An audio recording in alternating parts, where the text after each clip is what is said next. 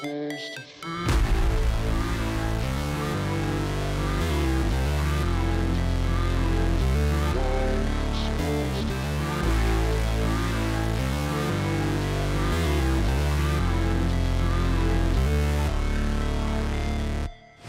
Never break, always fight, never quit, do it right. So in this video, we will be making some desktop speakers.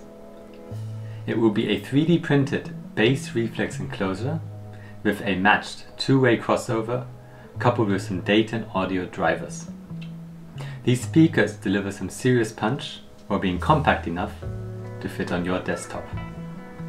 They have a unique shape that I have not yet seen anywhere else. That is the reason why I'm really excited to share this project with you. In the first step, I define the basic dimensions of my speaker build.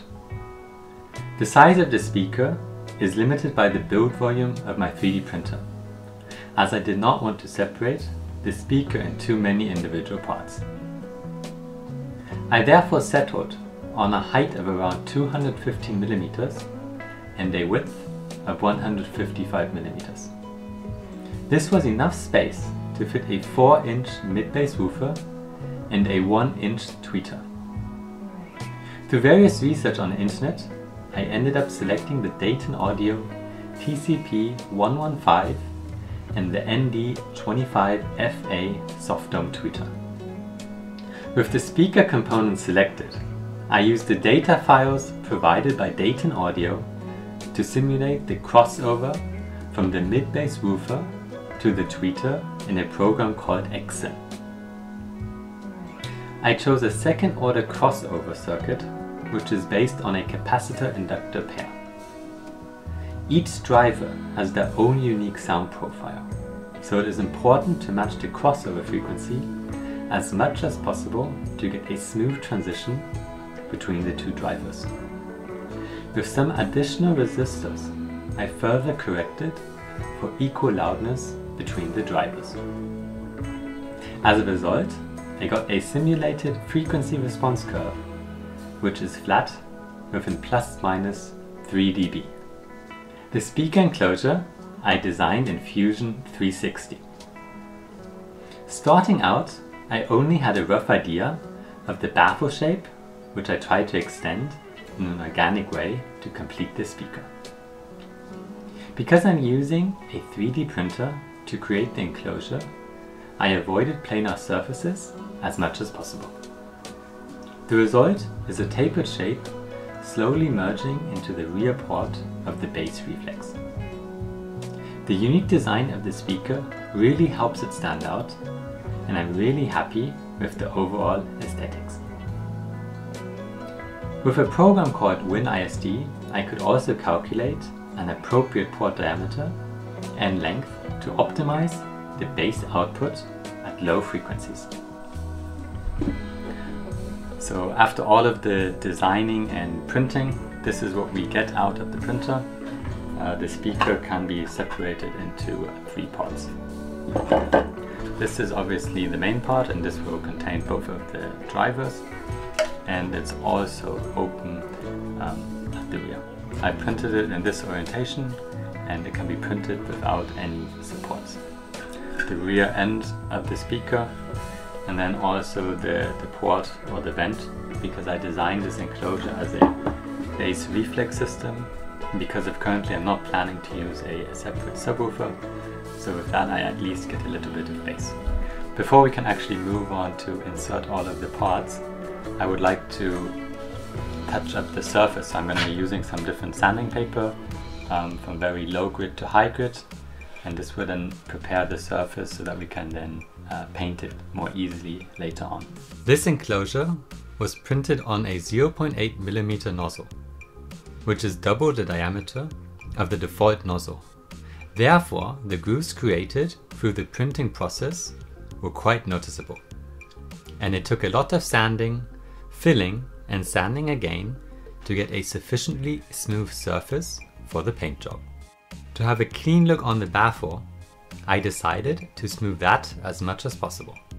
However, for the rest of the body, I left just enough roughness so the pattern is still visible, and this gives the speaker enclosure its own unique appearance.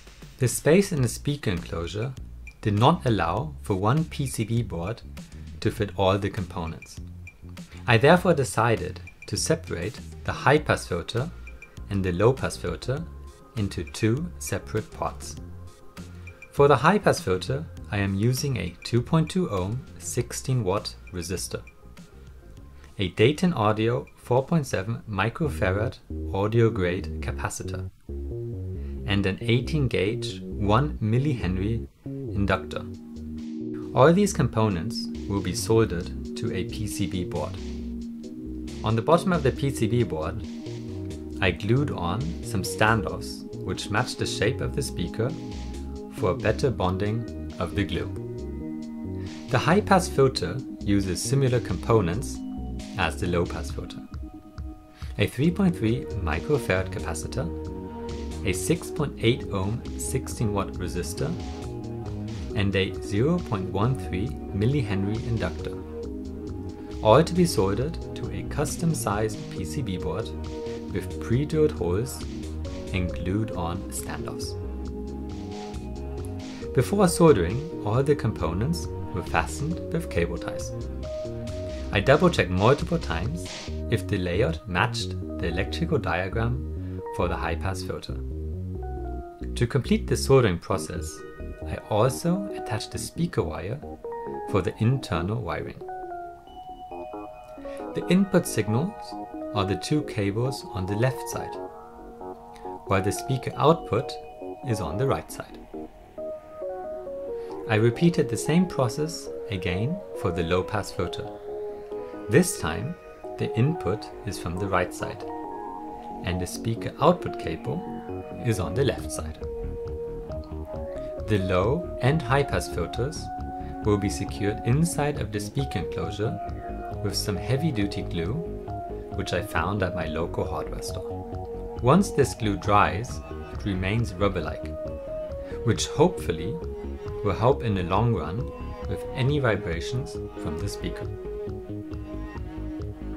Before placing it into the speaker, I had a few dry runs to make sure the PCB board is placed at just the right location. The holes for the speaker terminals are drilled after the print. Therefore, their location is flexible. I placed them at the rear bottom of the speaker as this seemed to be the place with the most subtle appearance. The plus and minus signal are then soldered to the high and low pass filter.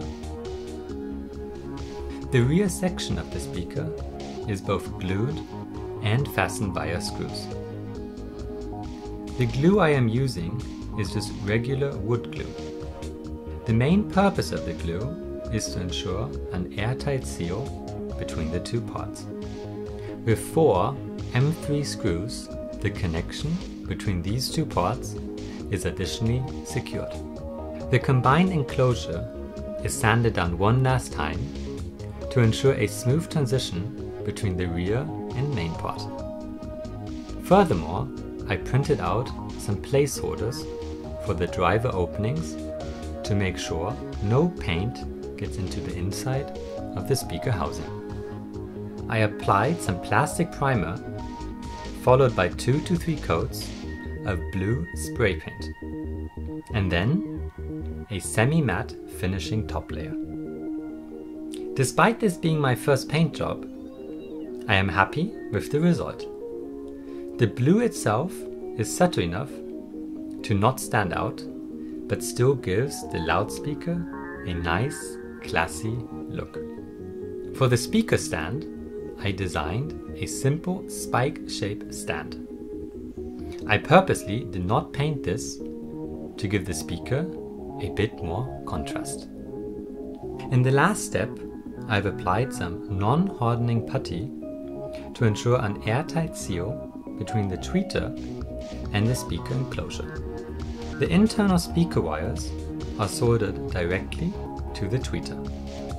At last, the tweeter is carefully fitted into the baffle and tightened with some black M4 screws. The overall fit of the tweeter within the baffle is nearly spot on, with a smooth, flush transition between tweeter and the baffle. Finally, the woofer is prepared in the same way as the tweeter and soldered to the internal speaker wires.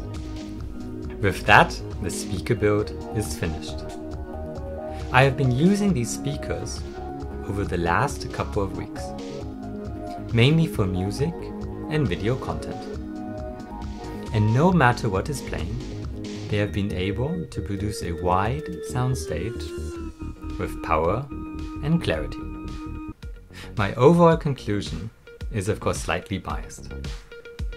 But I've been positively surprised by the overall outcome and I can only recommend to try and build these speakers for yourself.